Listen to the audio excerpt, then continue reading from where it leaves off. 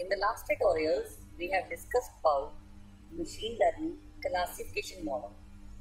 We are talking about the supervised learning and now it is about the regression model.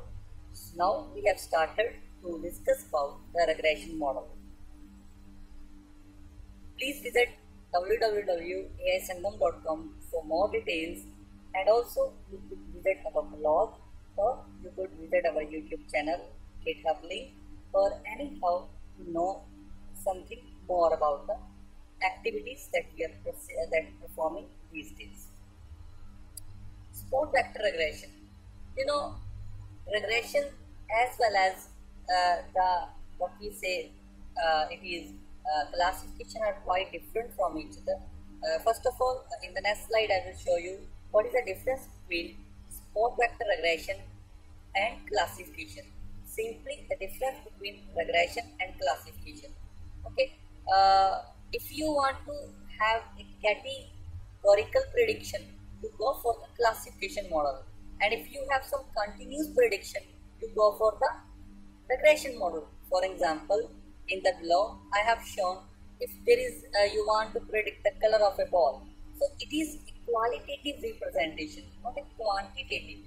But if I say you want to predict the number of pupils, the number, the continuous uh, continuity or the continuous data when we have to predict as an outcome, then we go for the regression model.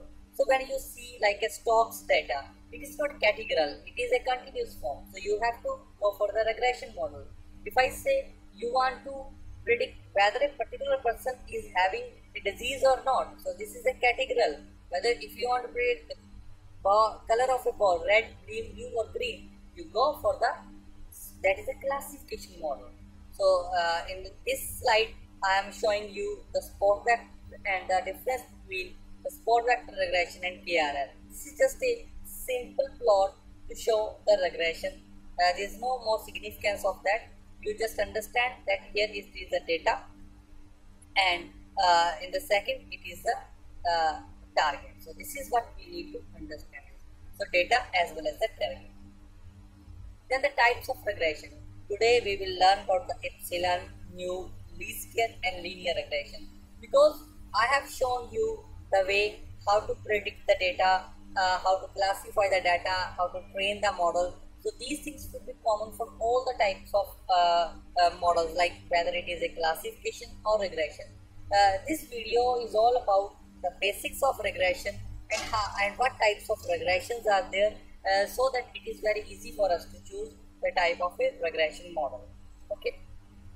So the first one is if you uh, can discuss it is the epsilon, then it is a nu, then it is a least square and then it is a linear. Now going to the epsilon. See theory of this regression is very important because you will come to know many terms like cost, gamma, epsilon which will make your concepts very strong and when you will do the tuning of parameters you will definitely learn great points from this video. See if epsilon regression means there is no control on how the data points will become the support vector. So this is a very good answer. Now uh, you know the two things are there. The gamma function have no control on which data points will become the support vector. So this will be this is the concept of the cost function because it is only the cost function which suggests the model that which data points can be a support vector. But in epsilon, you can control the amount of the error because if I discuss about the epsilon, it defines the margin of penalty or tolerance where no penalty is given to the errors. So when I discuss about the epsilon, I say uh, the concept is regarding the control of error, but there is no control over which over the support vectors. So if you want to control the number of support vectors, you have to go for the nu regression, which is based on the cost function.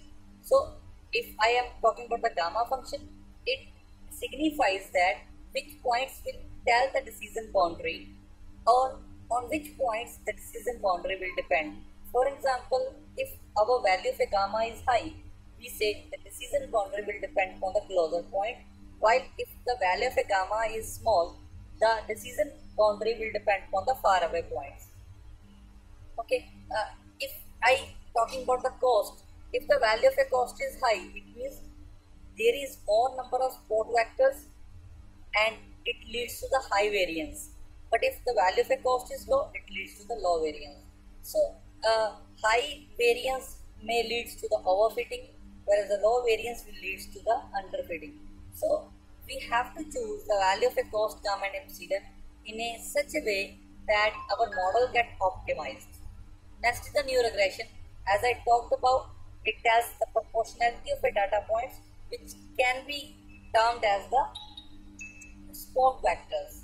Like epsilon regression, like epsilon regression, uh, it uses the hinge loss.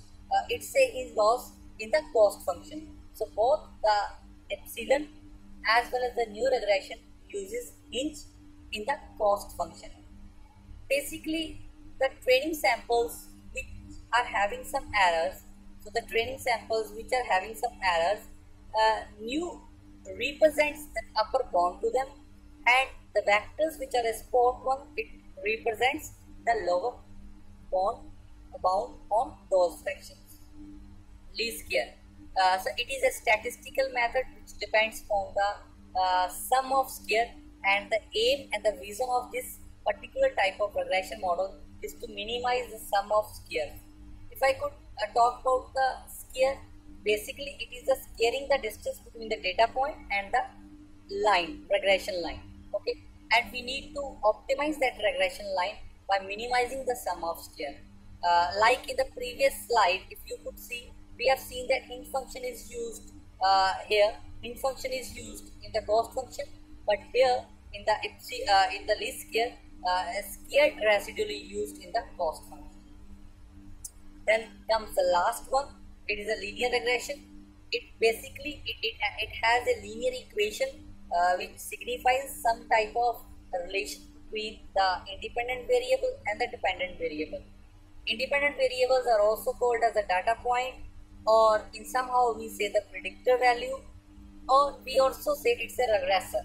Whereas the dependent variable is called the outcome or the target or in some terminology it is also known as regressand. So depends upon uh, what is the name to be uh, chosen by you all have carries a, uh, all carries the same meaning.